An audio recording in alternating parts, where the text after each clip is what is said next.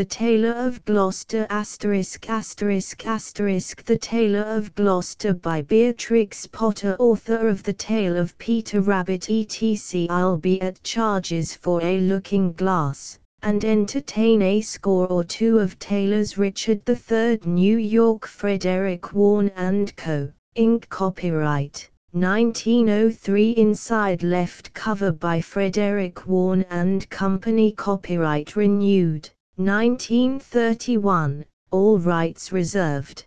Printed in the USA by Princeton Polychrome Press ISBN 07232 05949 Cloth, ISBN 07332-6227-6, Paper, 12 13 14 15 16 17 18 19 20, C, my dear Freda. Because you are fond of fairy tales, and have been ill, I have made you a story all for yourself a new one that nobody has read before. And the queerest thing about it is, that I heard it in Gloucestershire, and that it is true, at least about the tailor, the waistcoat, and the no more twist. Christmas, 1901 Lady and gentleman the tailor of Gloucester in the time of swords and periwigs and full-skirted coats with flowered lappets, when gentlemen wore ruffles, and gold-laced waistcoats of Padua soy and taffeta, there lived a tailor in Gloucester. He sat in the window of a little shop in Westgate Street, cross-legged on a table, from morning till dark. All day long while the light lasted he sewed and snippeted, piecing out his satin and pompadour, and lutestring, stuffs had strange names, and were very expensive in the days of the tailor of Gloucester. The tailor but although he sewed fine silk for his neighbors, he himself was very, very poor, a little old man in spectacles, with a pinched face, old crooked fingers, and a suit of threadbare clothes. Waistcoats for mice he cut his coats without waste, according to his embroidered cloth. They were very small ends and snippets that lay about upon the table, too narrow breadths for naught, except waistcoats for mice said the tailor. Well-dressed miss one bitter cold day near Christmas time the tailor began to make a coat, a coat of cherry-colored cord silk embroidered with pansies and roses, and a cream-colored satin waistcoat, trimmed with gauze and green worsted chenille, for the mayor of Gloucester. The tailor worked and worked, and he talked to himself. He measured the silk, and turned it round and round, and trimmed it into shape with his shears the table was all littered with cherry-colored snippets. No breadth at all, and cut on the cross, it is no breadth at all, tippets for mice and ribbons for mobs. For mice, said the tailor of Gloucester. When the snowflakes came down against the small leaded window panes and shut out the light, the tailor had done his day's work all the silk and satin lay cut out upon the table. Waistcoats for mice. There were twelve pieces for the coat and four pieces for the waistcoat, and there were pocket flaps and cuffs, and buttons all in order.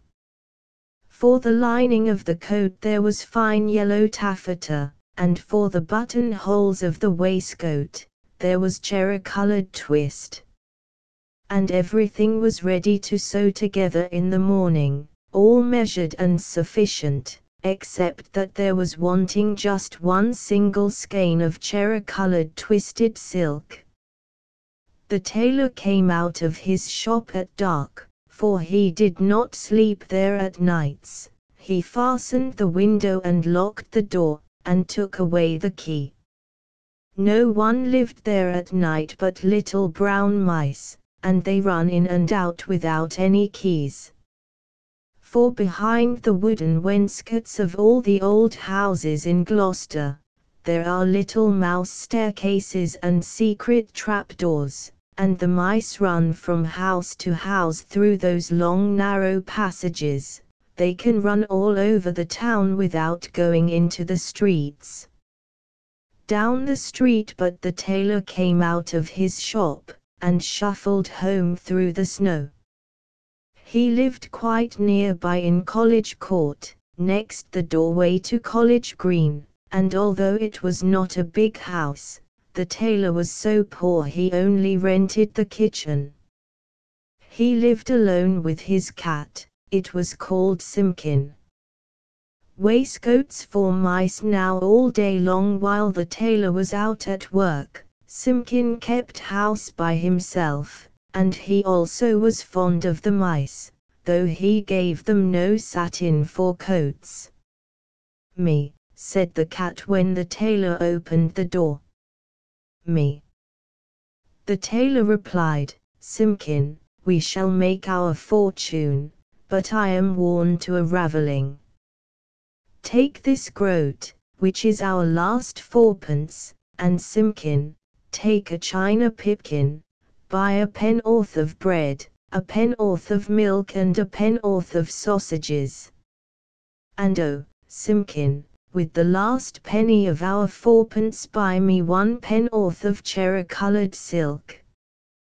But do not lose the last penny of the fourpence, Simpkin, or I am undone and worn to a thread paper, for I have no more twist.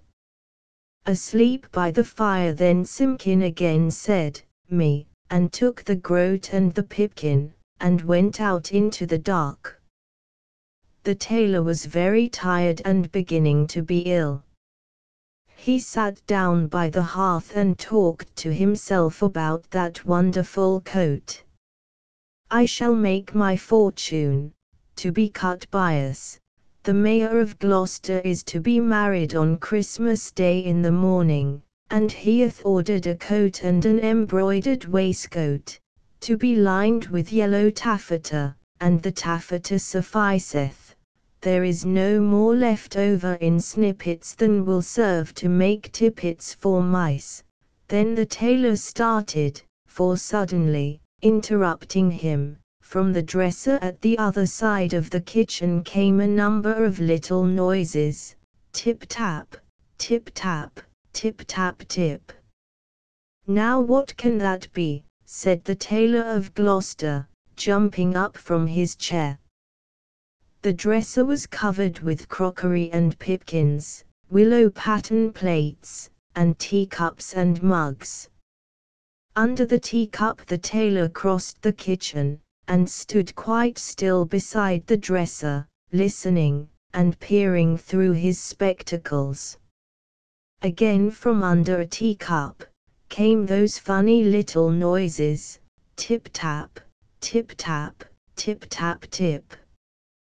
This is very peculiar said the tailor of Gloucester, and he lifted up the teacup which was upside down. Lady Mouse outstepped a little live lady mouse, and made a curtsy to the tailor. Then she hopped away down off the dresser, and under the wainscot.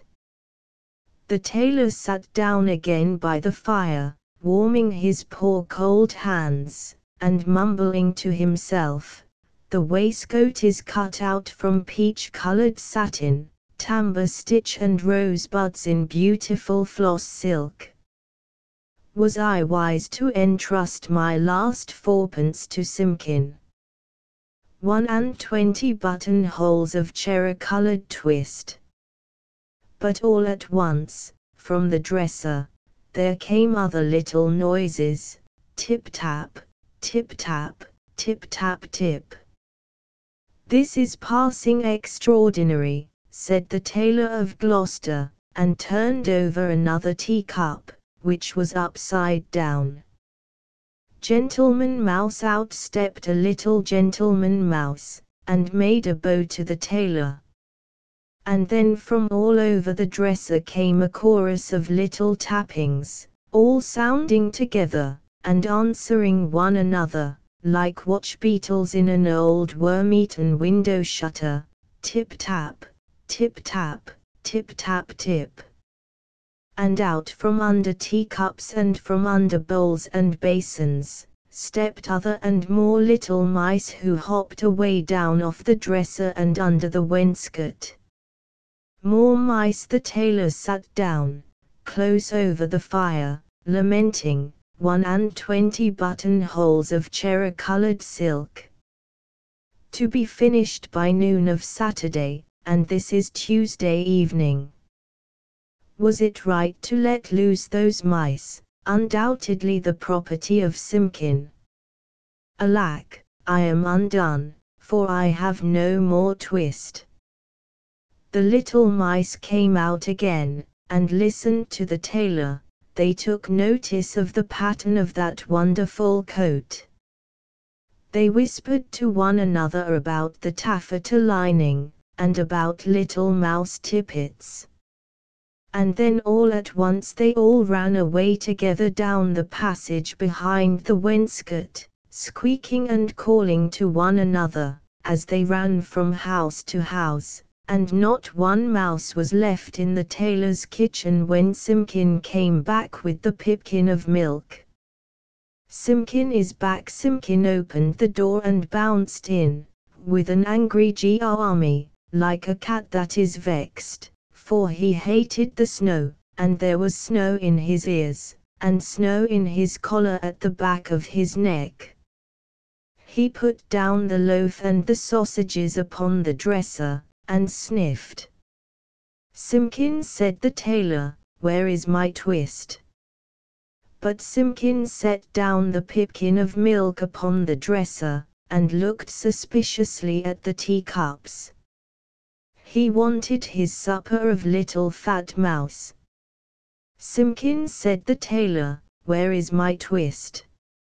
Hiding the twist but Simpkin hid a little parcel privately in the teapot, and spit and growled at the tailor, and if Simpkin had been able to talk, he would have asked, Where is my mouse? Alack, I am undone, said the tailor of Gloucester, and went sadly to bed. All that night long Simpkin hunted and searched through the kitchen, peeping into cupboards and under the wainscot, and into the teapot where he had hidden that twist, but still he found never a mouse. Whenever the tailor muttered and talked in his sleep, Simpkin said Major RWSSCH, and made strange horrid noises, as cats do at night. For the poor old tailor was very ill with a fever, tossing and turning in his four-post bed, and still in his dreams he mumbled, no more twist. No more twist. All that day he was ill, and the next day, and the next, and what should become of the cherry-coloured coat? In the tailor's shop in Westgate Street the embroidered silk and satin lay cut out upon the table, one and twenty buttonholes, and who should come to sew them, when the window was barred, and the door was fast locked. Sewing but that does not hinder the little brown mice, they run in and out without any keys through all the old houses in Gloucester. Tailor is ill out of doors the market folks went trudging through the snow to buy their geese and turkeys, and to bake their Christmas pies, but there would be no Christmas dinner for Simpkin and the poor old tailor of Gloucester. The tailor lay ill for three days and nights, and then it was Christmas Eve, and very late at night. The moon climbed up over the roofs and chimneys, and looked down over the gateway into College Court. There were no lights in the windows, nor any sound in the houses, all the city of Gloucester was fast asleep under the snow. And still Simpkin wanted his mice, and he mute as he stood beside the four-post bed. Simpkin leaves the house but it is in the old story that all the beasts can talk, in the night between Christmas Eve and Christmas Day in the morning, though there are very few folk that can hear them, or know what it is that they say. When the cathedral clock struck twelve there was an answer, like an echo of the chimes, and Simpkin heard it, and came out of the tailor's door, and wandered about in the snow. From all the roofs and gables and old wooden houses in Gloucester came a thousand merry voices singing the old Christmas rhymes, all the old songs that ever I heard of, and some that I don't know, like Whittington's bells.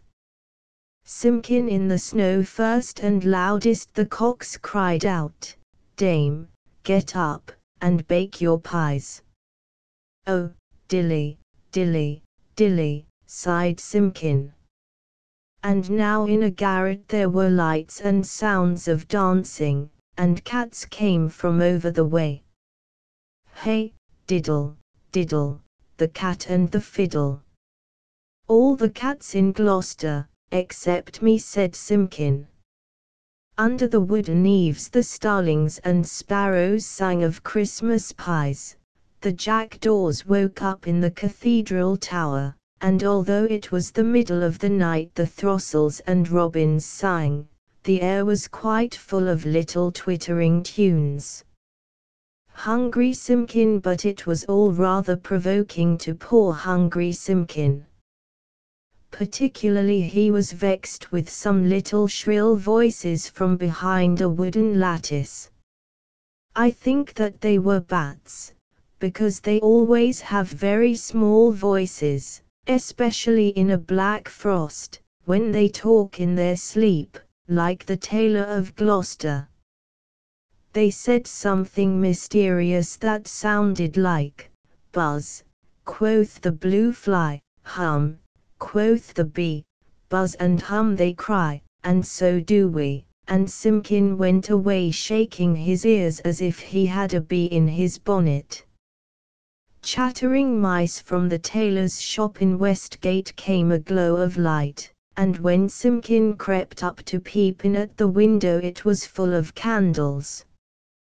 There was a snippeting of scissors, and snappeting of thread, and little mouse voices sang loudly and gaily. Four and twenty tailors went to catch a snail, the best man amongst them durst not touch her tail, she put out her horns like a little Kyloe cow, run, tailors, run. Or she'll have you all e'en now.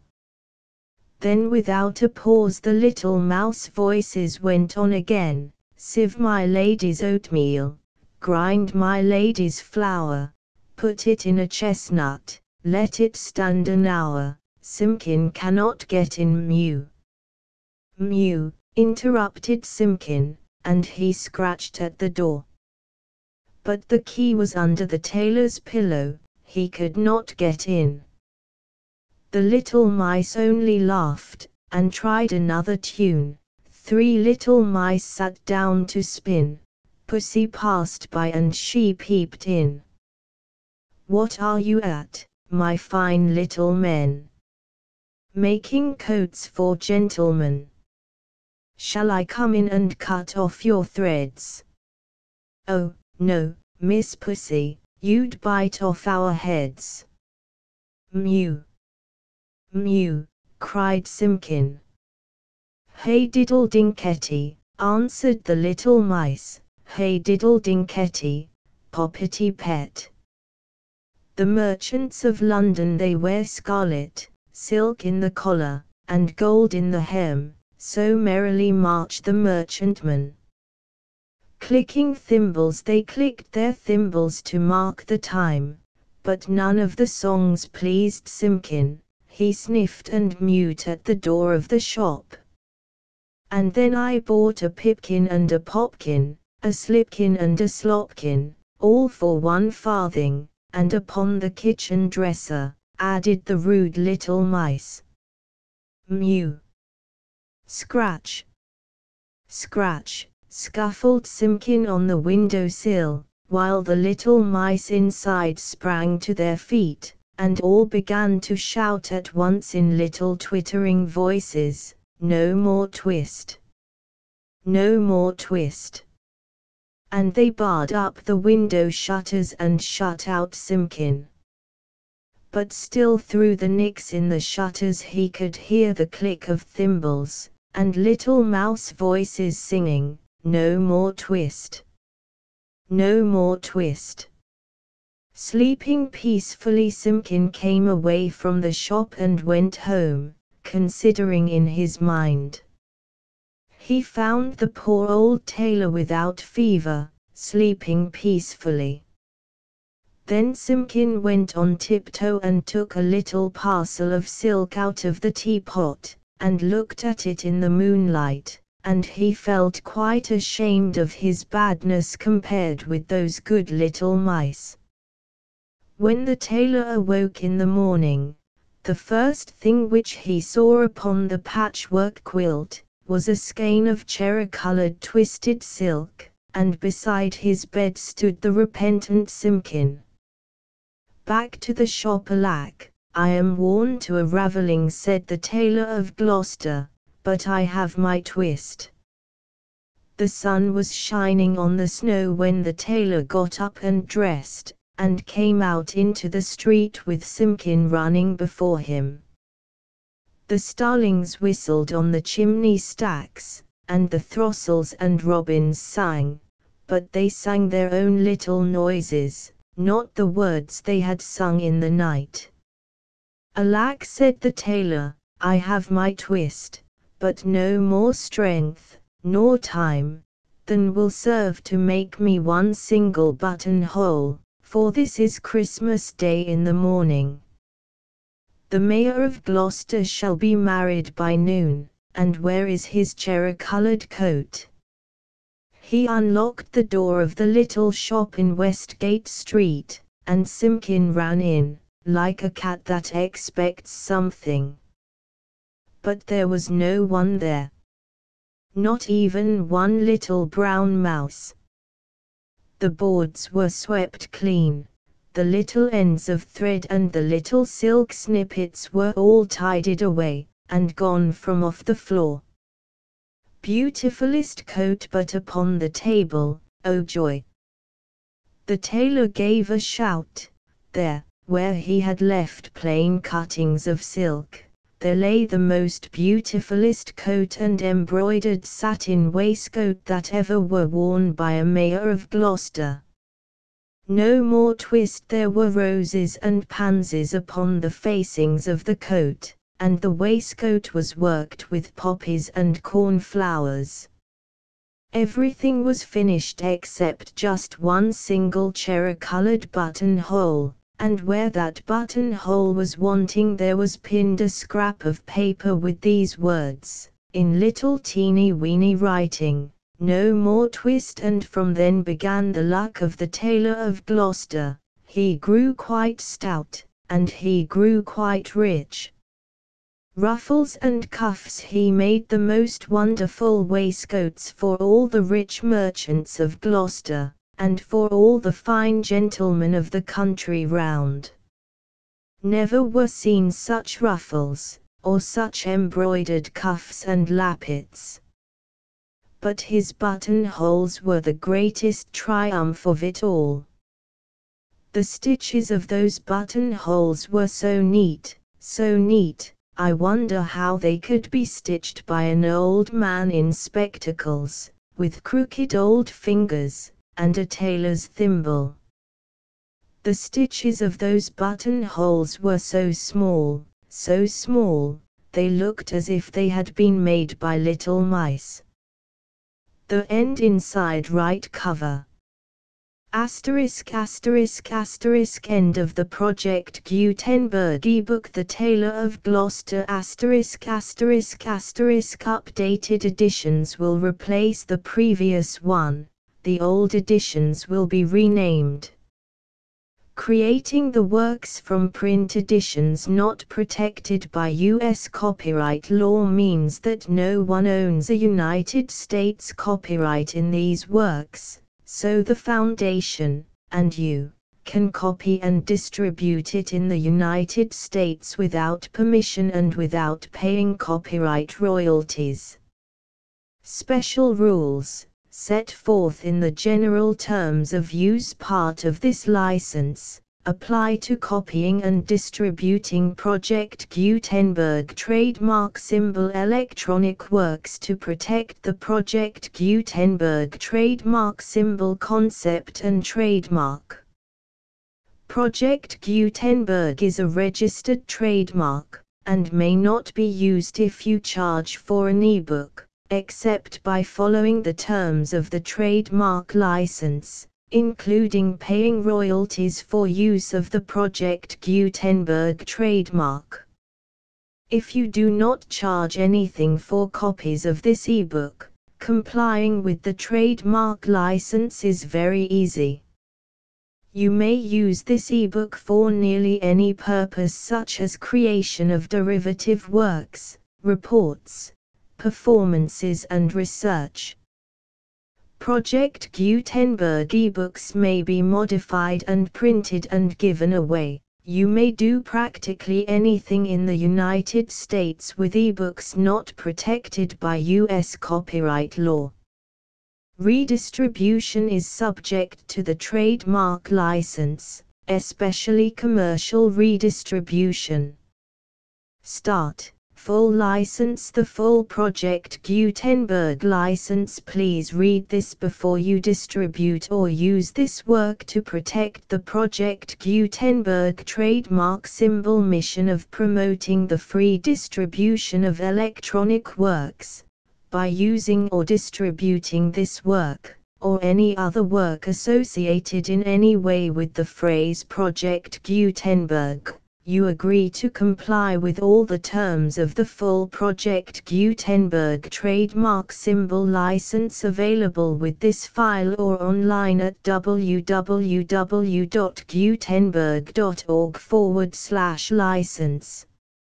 Section 1 General Terms of Use and Redistributing Project Gutenberg Trademark Symbol Electronic Works 1.0 by reading or using any part of this Project Gutenberg trademark symbol electronic work, you indicate that you have read, understand, agree to and accept all the terms of this license and intellectual property, trademark forward slash copyright, agreement. If you do not agree to abide by all the terms of this agreement, you must cease using and return or destroy all copies of Project Gutenberg trademark symbol electronic works in your possession. If you paid a fee for obtaining a copy of or access to a Project Gutenberg trademark symbol electronic work and you do not agree to be bound by the terms of this agreement, you may obtain a refund from the person or entity to whom you paid the fee as set forth in paragraph 1.e.8. 1.b Project Gutenberg is a registered trademark. It may only be used on or associated in any way with an electronic work by people who agree to be bound by the terms of this agreement. There are a few things that you can do with most Project Gutenberg trademark symbol electronic works even without complying with the full terms of this agreement. See paragraph 1.c below. There are a lot of things you can do with Project Gutenberg trademark symbol electronic works if you follow the terms of this agreement and help preserve free future access to Project Gutenberg trademark symbol electronic works. See paragraph 1.e below. 1.c The Project Gutenberg Literary Archive Foundation the Foundation or PGLAF, owns a compilation copyright in the collection of Project Gutenberg trademark symbol electronic works. Nearly all the individual works in the collection are in the public domain in the United States. If an individual work is unprotected by copyright law in the United States and you are located in the United States, we do not claim a right to prevent you from copying, distributing, performing, displaying or creating derivative works based on the work as long as all references to Project Gutenberg are removed. Of course, we hope that you will support the Project Gutenberg trademark symbol mission of promoting free access to electronic works by freely sharing Project Gutenberg trademark symbol works in compliance with the terms of this agreement for keeping the Project Gutenberg trademark symbol name associated with the work you can easily comply with the terms of this agreement by keeping this work in the same format with its attached full Project Gutenberg trademark symbol license when you share it without charge with others. 1.d The copyright laws of the place where you are located also govern what you can do with this work. Copyright laws in most countries are in a constant state of change. If you are outside the United States, check the laws of your country in addition to the terms of this agreement before downloading, copying, displaying, performing, distributing or creating derivative works based on this work or any other Project Gutenberg trademark symbol work the Foundation makes no representations concerning the copyright status of any work in any country other than the United States. 1.e Unless you have removed all references to Project Gutenberg, 1.e.1. The following sentence, with active links to, or other immediate access to, the full Project Gutenberg trademark symbol license must appear prominently whenever any copy of a Project Gutenberg trademark symbol work, any work on which the phrase Project Gutenberg appears, or with which the phrase Project Gutenberg is associated, is accessed, displayed, performed, viewed, copied or distributed. This ebook is for the use of anyone anywhere in the United States and most other parts of the world at no cost and with almost no restrictions whatsoever. You may copy it, give it away or reuse it under the terms of the Project Gutenberg license included with this ebook or online at www.gutenberg.org. If you are not located in the United States, you will have to check the laws of the country where you are located before using this ebook. 1.e.2 If an individual Project Gutenberg trademark symbol electronic work is derived from texts not protected by U.S. copyright law, does not contain a notice indicating that it is posted with permission of the copyright holder, the work can be copied and distributed to anyone in the United States without paying any fees or charges.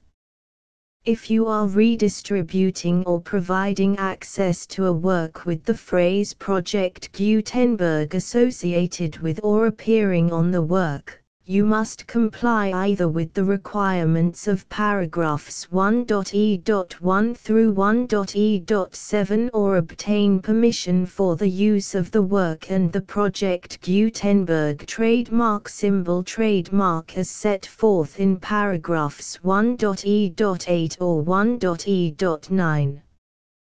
1.e.3 If an individual Project Gutenberg trademark symbol electronic work is posted with the permission of the copyright holder, your use and distribution must comply with both paragraphs 1.e.1 through 1.e.7 and any additional terms imposed by the copyright holder. Additional terms will be linked to the Project Gutenberg trademark symbol license for all works posted with the permission of the copyright holder found at the beginning of this work.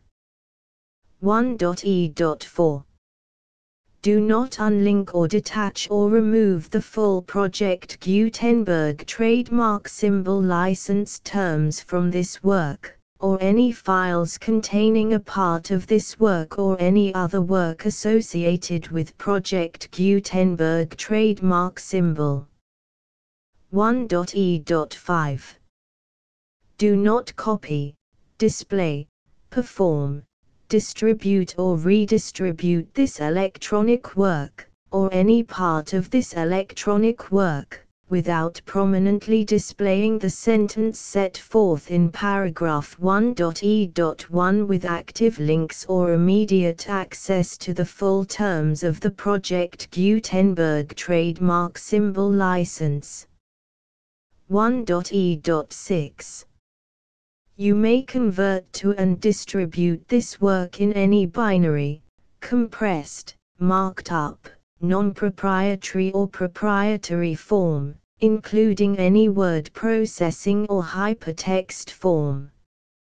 However, if you provide access to or distribute copies of a Project Gutenberg trademark symbol work in a format other than plain vanilla ASCII or other format used in the official version posted on the official Project Gutenberg trademark symbol website, www.gutenberg.org, you must, at no additional cost, fee or expense to the user, provide a copy, a means of exporting a copy, or a means of obtaining a copy upon request, of the work in its original plain vanilla ASCII or other form. Any alternate format must include the full Project Gutenberg trademark symbol license as specified in paragraph 1.e.1. 1.e.7 do not charge a fee for access to, viewing, displaying, performing, copying or distributing any Project Gutenberg trademark symbol works unless you comply with paragraph 1.e.8 or 1.e.9.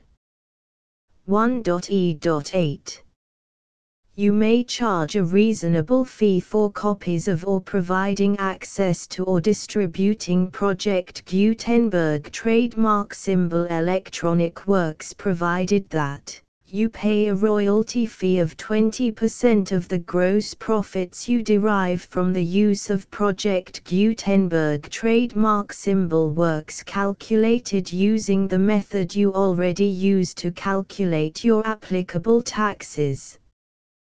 The fee is owed to the owner of the Project Gutenberg trademark symbol trademark, but he has agreed to donate royalties under this paragraph to the Project Gutenberg Literary Archive Foundation.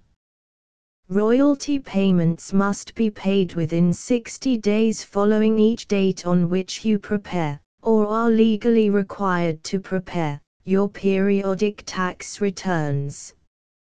Royalty payments should be clearly marked as such and sent to the Project Gutenberg Literary Archive Foundation at the address specified in Section 4. Information about donations to the Project Gutenberg Literary Archive Foundation.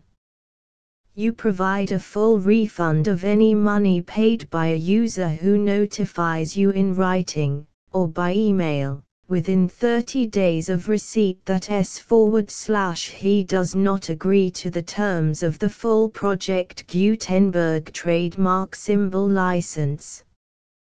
you must require such a user to return or destroy all copies of the works possessed in a physical medium and discontinue all use of and all access to other copies of Project Gutenberg trademark symbol works. You provide, in accordance with paragraph 1.f.3, a full refund of any money paid for a work or a replacement copy if a defect in the electronic work is discovered and reported to you within 90 days of receipt of the work.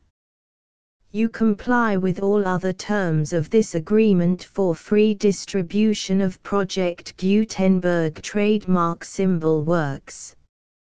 1.e.9 if you wish to charge a fee or distribute a Project Gutenberg trademark symbol electronic work or group of works on different terms than are set forth in this agreement, you must obtain permission in writing from the Project Gutenberg Literary Archive Foundation, the manager of the Project Gutenberg trademark symbol trademark.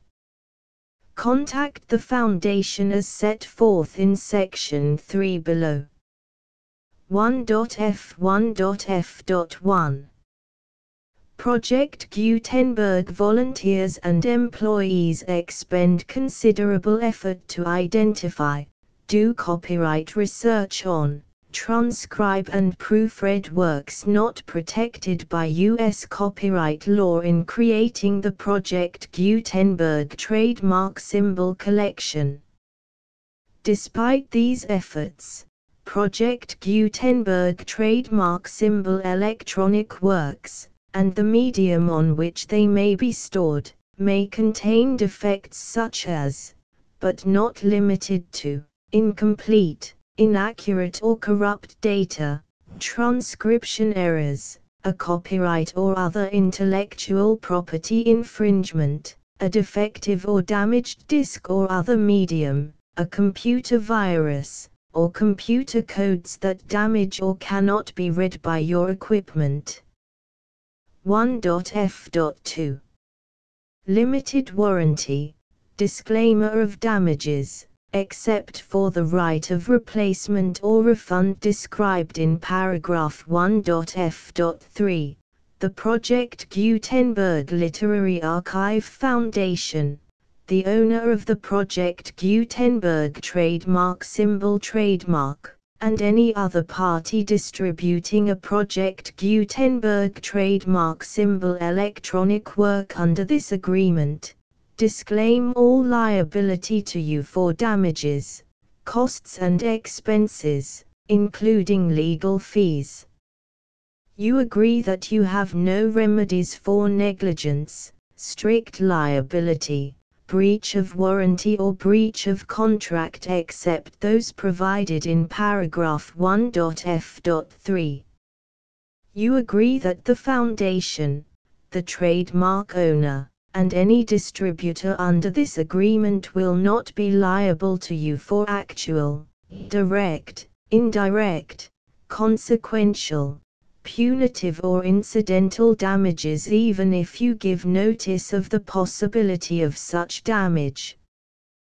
1.f.3 Limited right of replacement or refund if you discover a defect in this electronic work within 90 days of receiving it, you can receive a refund of the money, if any, you paid for it by sending a written explanation to the person you received the work from. If you received the work on a physical medium, you must return the medium with your written explanation the person or entity that provided you with the defective work may elect to provide a replacement copy in lieu of a refund. If you received the work electronically, the person or entity providing it to you may choose to give you a second opportunity to receive the work electronically in lieu of a refund. If the second copy is also defective, you may demand a refund in writing without further opportunities to fix the problem. 1.f.4 except for the limited right of replacement or refund set forth in paragraph 1.f.3. This work is provided to you as is, with no other warranties of any kind, express or implied, including but not limited to warranties of merchantability or fitness for any purpose. 1.f.5 Some states do not allow disclaimers of certain implied warranties or the exclusion or limitation of certain types of damages. If any disclaimer or limitation set forth in this agreement violates the law of the state applicable to this agreement, the agreement shall be interpreted to make the maximum disclaimer or limitation permitted by the applicable state law. The invalidity or unenforceability of any provision of this agreement shall not void the remaining provisions. 1.f.6 Indemnity. You agree to indemnify and hold the foundation, the trademark owner, any agent or employee of the foundation, anyone providing copies of Project Gutenberg trademark symbol electronic works in accordance with this agreement, and any volunteers associated with the production promotion and distribution of Project Gutenberg trademark symbol electronic works, harmless from all liability, costs and expenses, including legal fees, that arise directly or indirectly from any of the following which you do or cause to occur. A. Distribution of this or any Project Gutenberg trademark symbol work. B alteration, modification, or additions or deletions to any Project Gutenberg trademark symbol work, and c. any defect you cause. Section 2 Information about the mission of Project Gutenberg trademark symbol Project Gutenberg trademark symbol is synonymous with the free distribution of electronic works in formats readable by the widest variety of computers including obsolete, old, middle-aged and new computers. It exists because of the efforts of hundreds of volunteers and donations from people in all walks of life volunteers and financial support to provide volunteers with the assistance they need are critical to reaching Project Gutenberg trademark symbol S goals and ensuring that the Project Gutenberg trademark symbol collection will remain freely available for generations to come. In 2001, the Project Gutenberg Literary Archive Foundation was created to provide a secure and permanent future for Project Gutenberg trademark symbol and future generations. To learn more about the Project Gutenberg Literary Archive Foundation and how your efforts and donations can help, See sections 3 and 4 and the Foundation information page at www.gutenberg.org. Section 3 Information about the Project Gutenberg Literary Archive Foundation The Project Gutenberg Literary Archive Foundation is a non-profit 501 c. 3 educational corporation organized under the laws of the state of Mississippi and granted tax-exempt status by the Internal Revenue Service. The foundation's IN or federal tax identification number is 64-62215541. Contributions to the Project Gutenberg Literary Archive Foundation are tax deductible to the full extent permitted by U.S. federal laws and your state's laws. The Foundation's business office is located at 809 North 1500 West, Salt Lake City, UT 84116, 801, 596, 1887. Email contact links and up-to-date contact information can be found at the Foundation's website and official page at www.gutenberg.org forward slash contact section 4.